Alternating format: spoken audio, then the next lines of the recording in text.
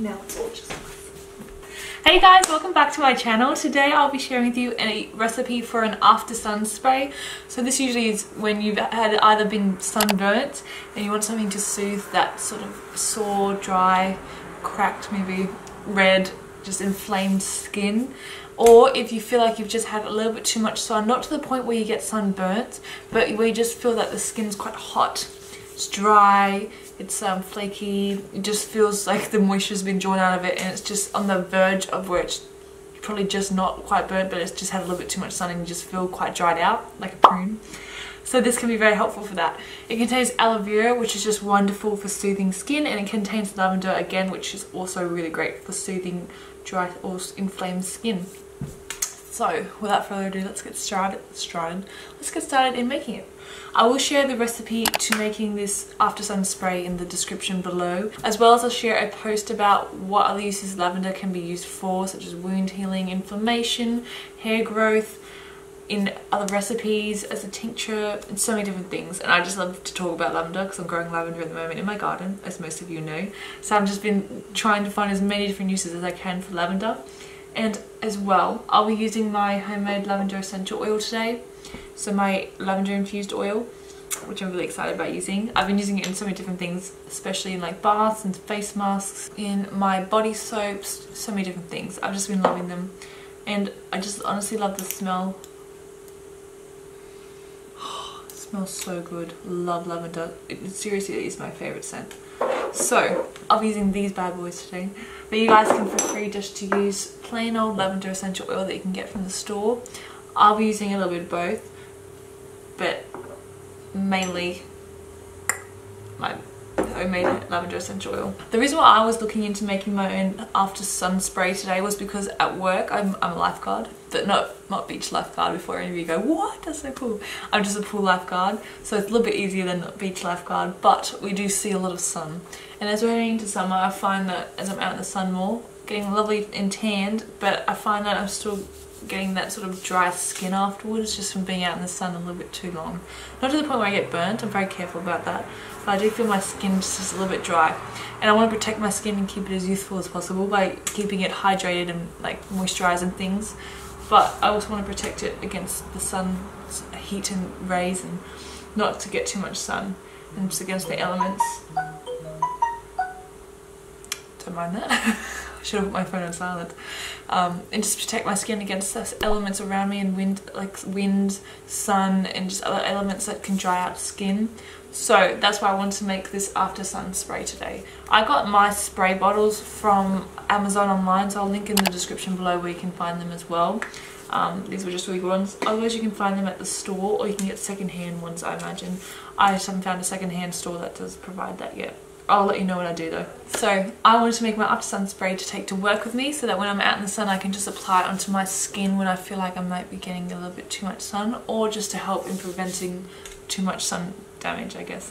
So yeah, that's my long little story of why I wanted to make this after sun spray today but I'm sure you guys have many other different reasons why you'd like to use it. Feel free to share in the description below what you're going to use it for or like if you have another recipe for an after sun spray that is different to this one please share. I'd love to try it out but if you want to try this one out feel free to stick around. We're going to make that one right now.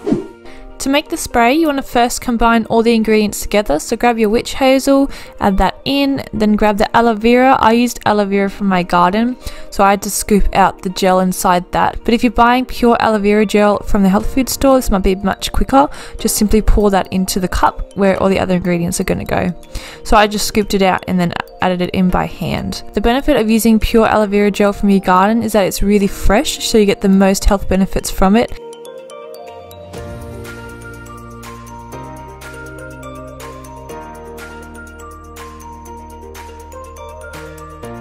Then you want to add in your essential oils. I added in essential oils that I made, so the lavender essential oils, but if you're not using that, you can just add in lavender essential oil and peppermint essential oil.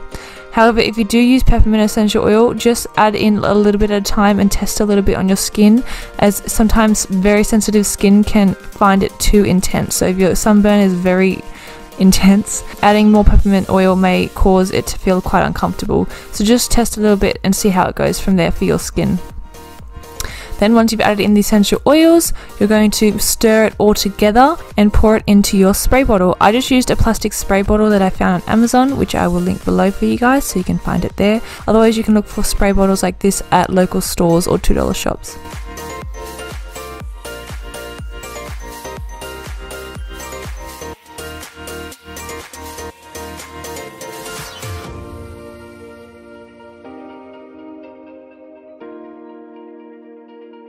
Now when you're applying it, make sure you shake well before use, just because the ingredients can separate, which is natural, just because there's no additives in there, so they can easily separate, which means that once you shake it up, it'll help to combine it again.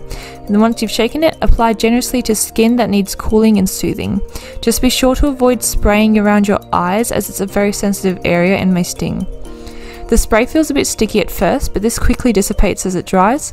You can reapply as often as needed. I resprayed every half hour or so at first whenever I got burnt, then went down to three times a day, then once a day until it had completely faded. But go off how your skin is going and how you're healing.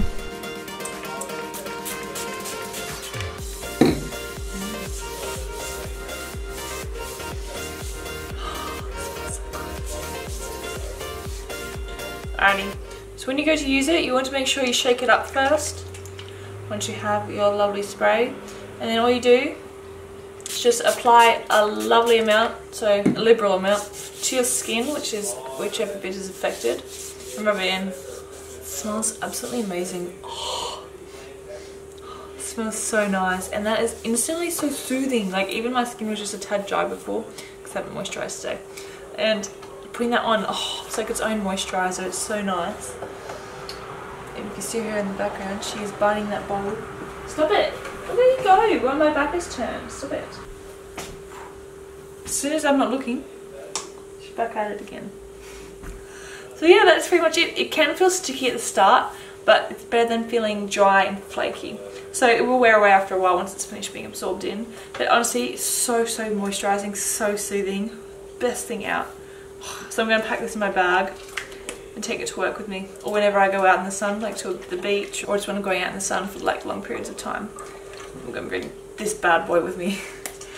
Thank you so much guys for sticking out this whole video with me. I hope you guys enjoyed it. Let me know what you think and if you try it out or if you have another recipe like I said before, feel free to share. I'd love to hear.